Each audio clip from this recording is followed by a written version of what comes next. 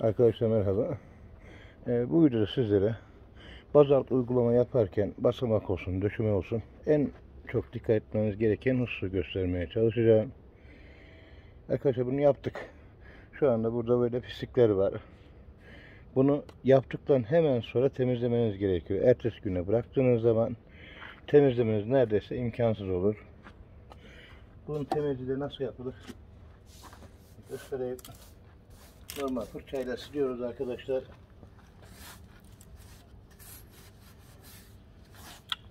Ben genellikle yaptıktan hemen sonra temizliğini yaparım.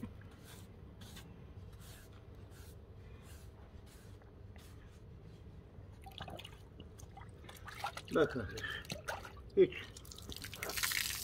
bildiğimiz suyu döküm şekilde Yıkayın yaptığınız yeri.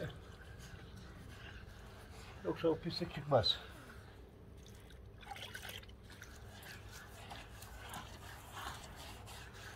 Kuruduğunda bunu çıkartmanız neredeyse imkansız olur arkadaşlar. Gözenekli olduğu için, bu silivri taş gibi gözenekli olduğu için bunu temizleyemezsiniz.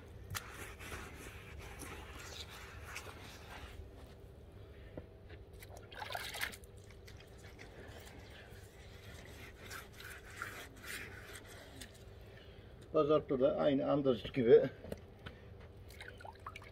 temizlik böyle geçerli.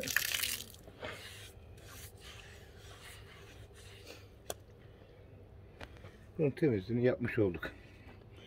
Bu videoda sizlere bazalt uygulamanın temizliği nasıl yapılır göstermeyi anlatmaya çalıştım. İzlediğiniz için teşekkür ederim.